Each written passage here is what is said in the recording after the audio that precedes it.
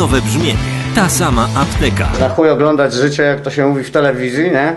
Jeżeli, wiesz, samemu się żyje, nie? telewizji, radionecie nawet w każdej głupiej gazecie jest to, co pływa w miejskim szalecie, to, co pływa i to, co wypływa. Zawartość płyty nie podlega refundacji. W gruncie rzeczy, jak gdyby wolny świat na tym polega, że nie ma nic za darmo, nie? Premiera 8 marca.